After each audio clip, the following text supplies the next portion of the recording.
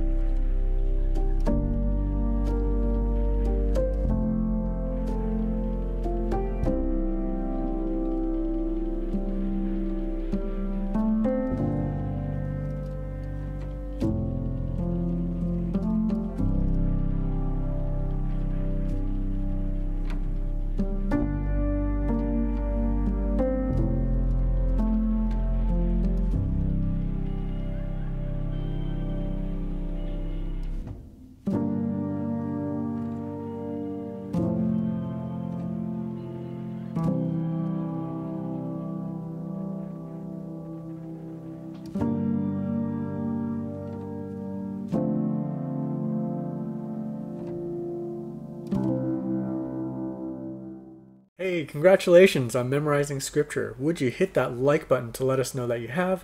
And also, it'll let others know that this is a good Bible verse to memorize as well. If you haven't already subscribed to the channel, please do. You can do so by hitting the logo right beside me. Thanks again for watching, and may the word of Christ dwell in you richly.